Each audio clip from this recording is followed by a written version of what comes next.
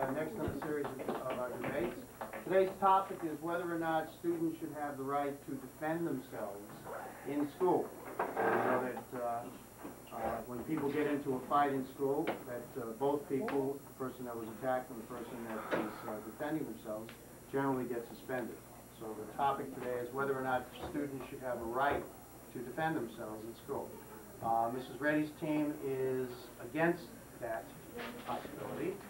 They believe that they should not be fighting in school. Is that correct? Okay, that the rule should be the way it is, and Mr. Krause's team is against that rule, feels that they should be able to defend themselves. Uh, We're gonna flip for who goes first, so if you guys would call it in the air. Heads, and it is tails, so who would I get the quarter from? You guys have a choice, do you want to open or you want them to open? You're gonna open? Okay, so they will open first, and speak up clearly so uh, the camera can pick everything up that you have to say. I, believe that students should be able to defend themselves in school without being suspended. Because if they don't defend themselves because they're worried about something going on their record, then they're just gonna be easily beat up. And then people probably will pass around the word, and then a lot of people will beat them up. Um, nobody has the right to lay their, their hands on you. And, and if you are on the street and you got into a fight, you wouldn't be, you wouldn't just stand there and let them hit you. And then the, if five oh came, you would arrest the person who started the fight, not the person who defended them. I feel they have no right to suspend you if you didn't start the fight, because if you keep getting suspended for stupid things like that, it'll be on your record to the years to come for just being in a fight, defending yourself. Okay? Mrs. Reddy's? Should be against it, because, I mean, uh, should try to ignore this stuff, probably because they would think it has no effect on them. And they really wouldn't do it. I think you should go to peer mediation if someone's bothering you because then you have a chance to settle it, you can talk about it. Instead of fighting someone, I think that you should go tell an adult because they could tell you how to um, handle the subject. Okay, so there are opening statements at this point. Since uh, this group opened first, you get the question first. Okay, thank you. I got a question. Okay, David will start with. Alright, what's his name? Alright, Aaron. Um, what if the fight had already started? Like, um, the kid maybe doesn't, the word doesn't spread around fast enough for it to get to you. You don't know what's gonna happen. the kid's just gonna get you after school, gonna come on and sneak up. Well, if you think that's going to happen, you should just tell an adult or a parent anyway. But how would you know? Maybe you did something to the kid and it's like, you don't think that anything's wrong, but he's still pretty mad about it and he wants to come after you and get you back. Well, then just after school, if he wants to fight you, then you should just go tell.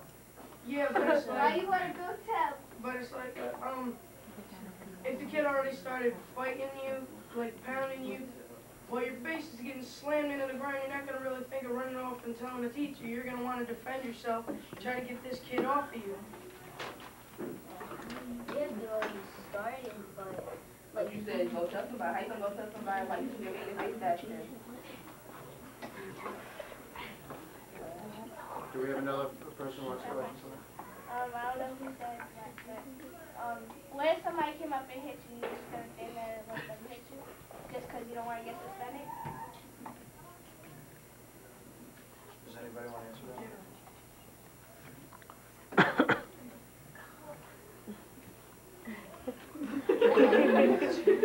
Do you have any other questions for the team? Yeah, I got another one. Um, for the girl in the middle.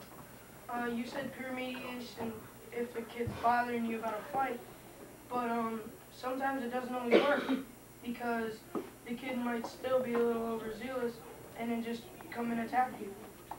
I know, but you got a contract, and if you break that contract, you always go to the main office. But either way, you're suspended. We're trying to say you shouldn't Yeah, but uh, anybody that will attack you, um, either already thought about what's gonna happen to him and doesn't care, or just hasn't thought at all. So if they, if you go to the main office and tell somebody and it gets them suspended, they don't care, they're still gonna come after you anyway.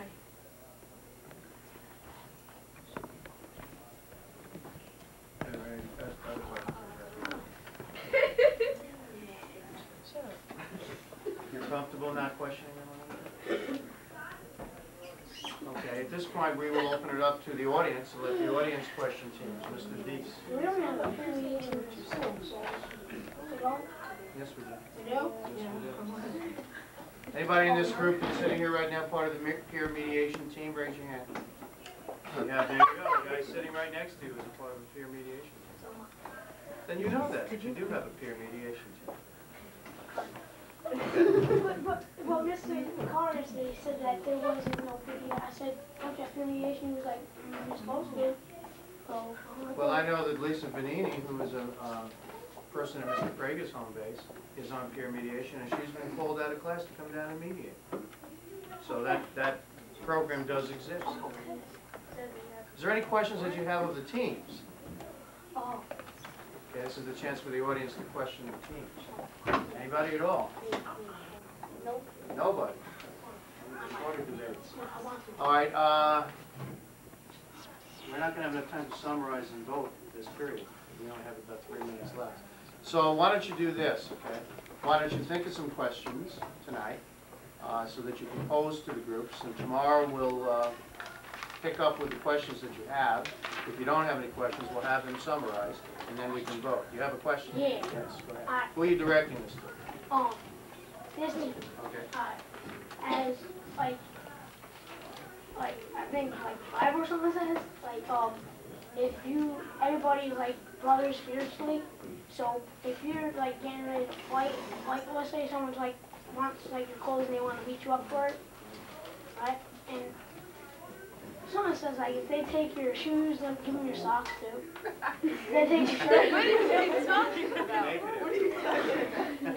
Should be arrested for that? That's a whole different story. Do you wanna, do you wanna respond to what he said? Basically, it's a whole different story, it's nothing to do with what we do, we ain't gonna take our shirt off just to give it to them so they can, don't have to fight us. But there's also, there, there's also the story of, um, somebody hits you on one side of their face, turn around, let them hit you on the other side of the face.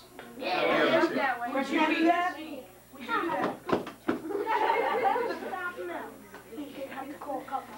So, I mean, Yeah, but is there, a- is there like anybody in this room that would let somebody hit them on one side of the head as hard as they could, and then hit them on the other side of the head?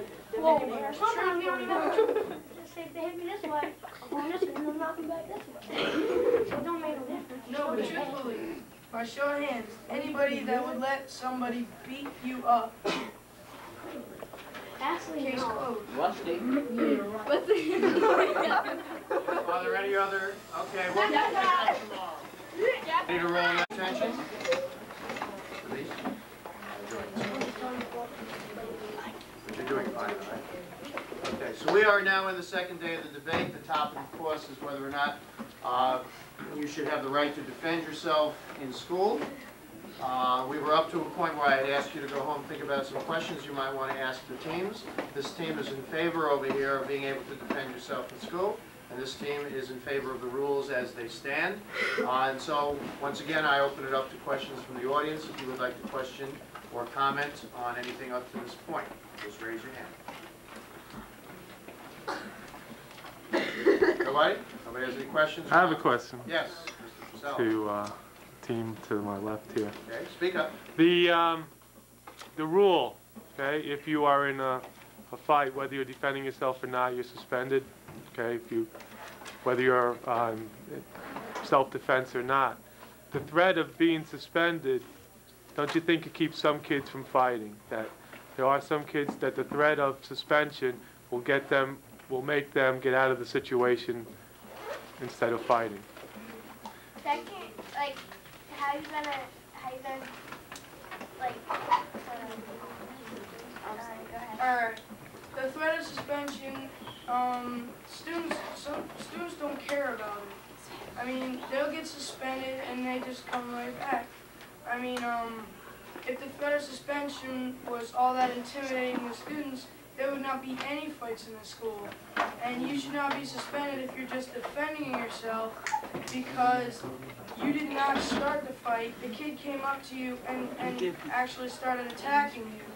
Defending yourself is just something natural to all living things, and I don't believe you should you should have a penalty for doing something that's natural and keeping yourself from getting hurt.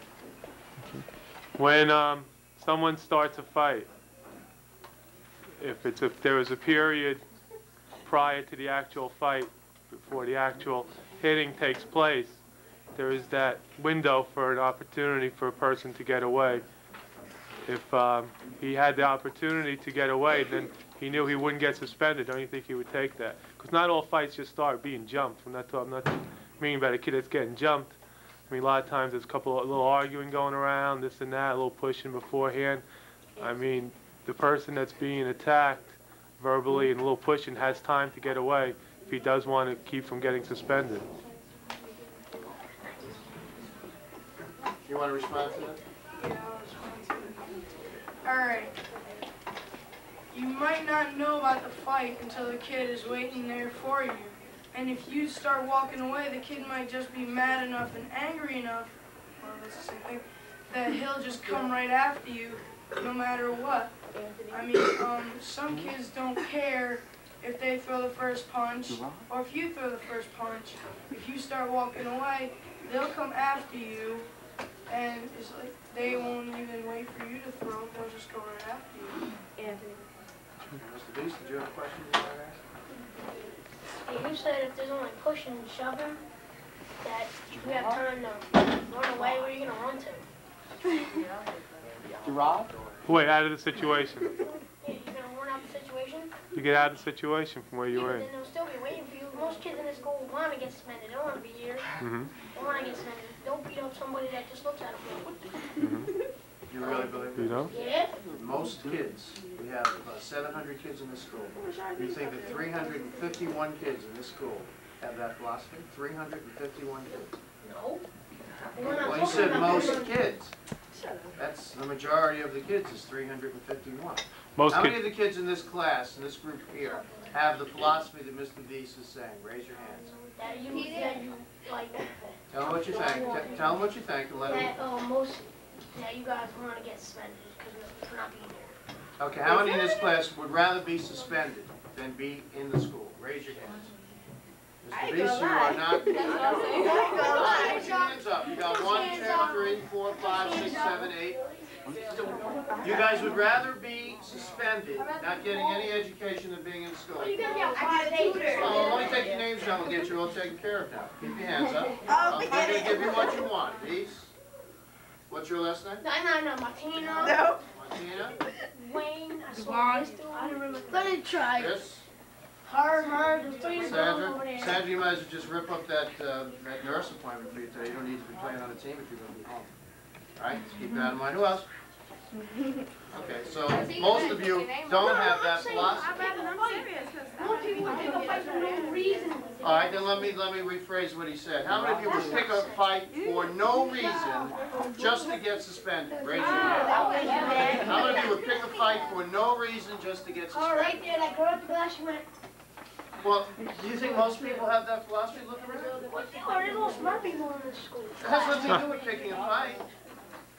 It has nothing to do with picking a fight. You think most of the people in the school are dumb? Including Anthony. Is there any other questions from the audience to either of the two teams? Yes. They're not liking me no more. Yesterday he said he said that um you wouldn't let someone punch you twice, and the debate's not about whether you let them punch you, it's about whether you get suspended, both would get suspended. The debate is about whether you should have the right to defend yourself. That's what the debate is about. Yeah, and it's because if somebody hits you, you're gonna hit them back. You're not gonna let them hit you twice or more. You're just gonna start hitting them back, right? Yeah, but that's that nobody was talking about that. That's Yeah, cause self-defense. there's still, wait, wait, wait, Somebody hits you. Not- One at a time, one at a time. One at a time. Um, that is the subject, cause we're talking about if you defend yourself, you're gonna get suspended. Like that's what I just said. Oh, I know, but say somebody hits you. You want to hit him back, right? That deals with the subject because then you get suspended for hitting him back. Yeah, he said you're not gonna hit him back. So, you're not gonna I hit him back. I never said nothing like that. Alright, alright, alright. We're fighting now. We're fighting. If somebody hits you, if somebody hits you, you're not gonna let him hit you again you're going to hit them back. Hitting them back is